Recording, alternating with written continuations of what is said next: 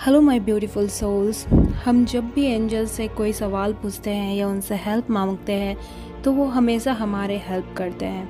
कभी कोई आइडिया जो हमारे दिमाग में सडन चला आता है, कभी कोई ड्रीम जो हम देखते हैं और वही हमारा आंसर होता है। कभी चलते फिरते कुछ ऐसा सुन लेते हैं जो कि हमारा आंसर होता है तो कभी कोई साइन जैसे कोई कोई फेदर दिख जाता है।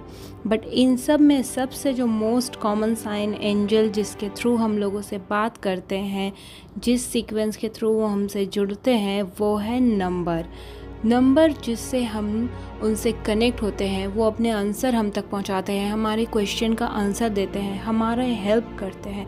इसे कहते हैं एंजल्स नंबर जैसे कि triple one triple two triple three triple four triple five कुछ भी हो सकता है ज़ीरो से लेके कुछ भी।